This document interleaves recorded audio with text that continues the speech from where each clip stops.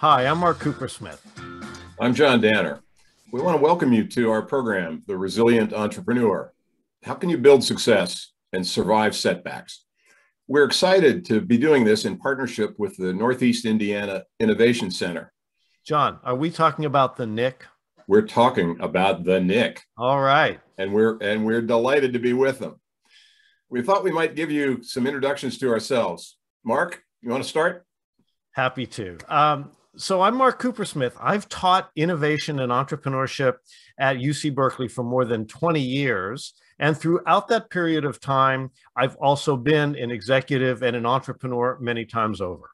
In the programs that I've taught at Berkeley to students and grad students, and also to executives and entrepreneurs around the world, thousands of students have gone through these programs launched businesses, learned how to be entrepreneurs, learned how to be better entrepreneurs. Some have succeeded, some have failed.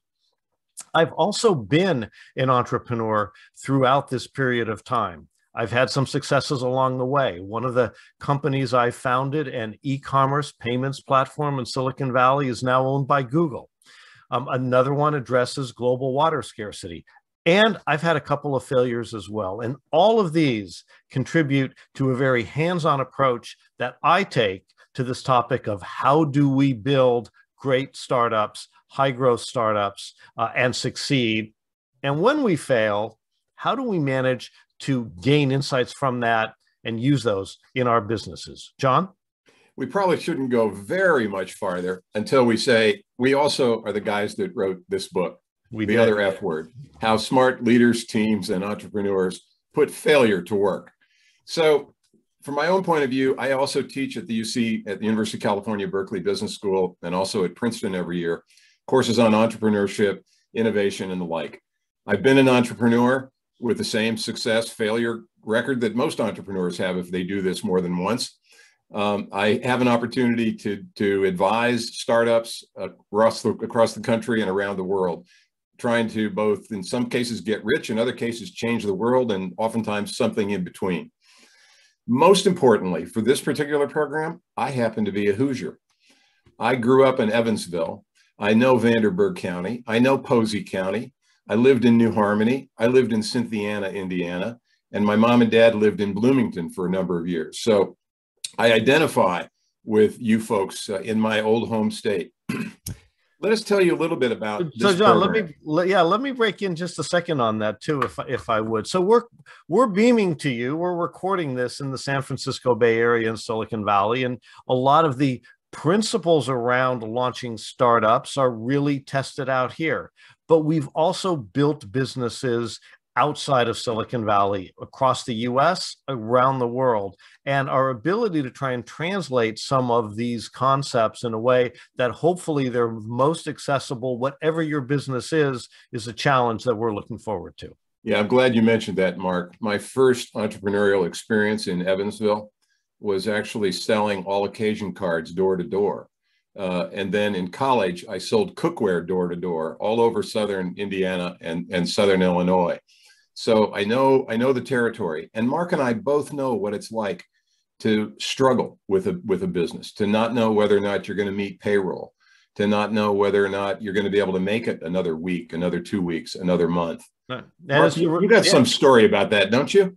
Oh, I do have a few stories as far as not knowing if we're going to make payroll and and kind of closing a deal on New Year's Eve and the other the guy on the other side of the table wanted to go out for a drink to celebrate and i wanted to get to the bank before the mm-hmm. bank closed so we could make payroll.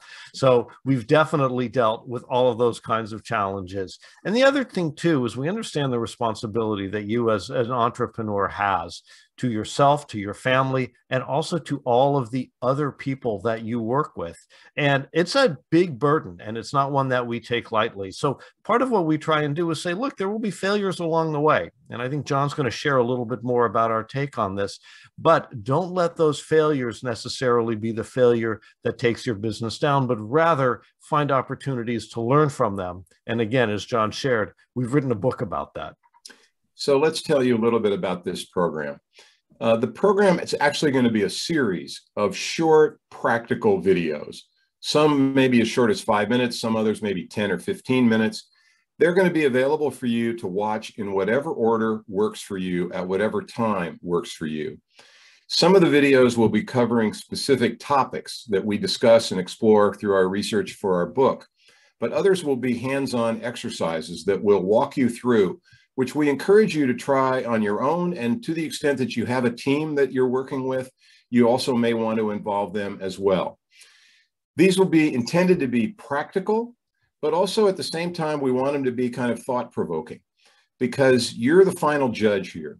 We understand that every entrepreneur wants one thing above all, and that is to, be, to stay in business, to grow. Sometimes that's not always going to play out the way you'd like or the way you'd hope.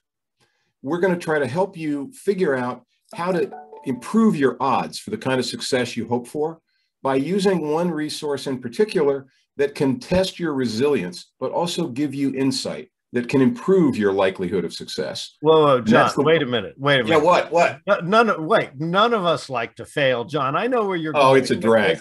None of us like to fail. None of us like setbacks, right? We we so how do we deal with those? What are some thoughts? A couple very simple ones.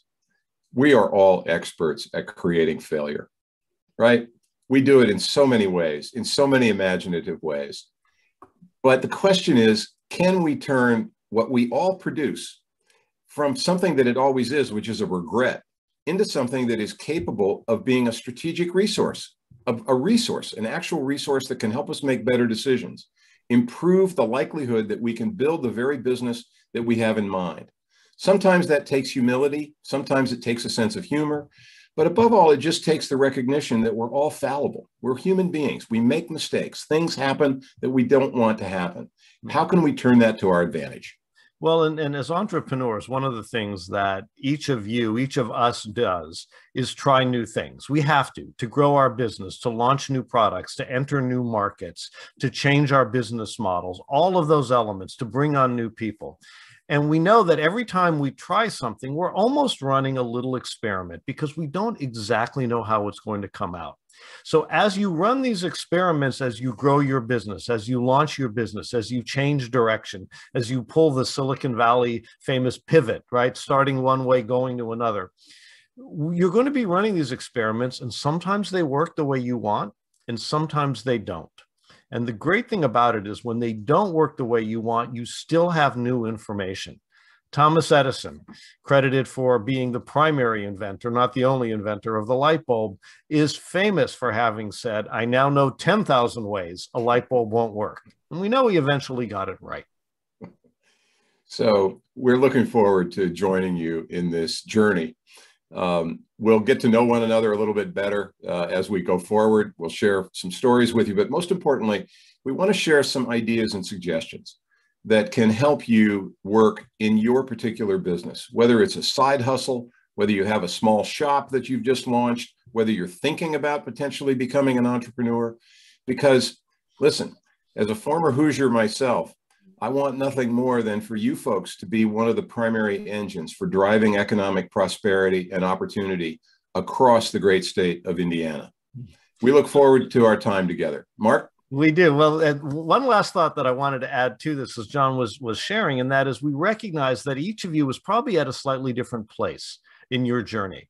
Uh, so some of these exercises, some of the content may be more relevant in the order that we've presented it for some of you than others. So as John invited you to do earlier, feel free to move around, to take a look at the entire set of content and exercises we have and these are not intended to be theoretical um, exercises. We want you to apply your conditions, your situation against the frameworks and the activities that we're laying out. And with that, John, shall we get started? Yeah, why don't you cue the music? I'm That's cueing the music. this session. We look forward to meeting you the next time around. So long.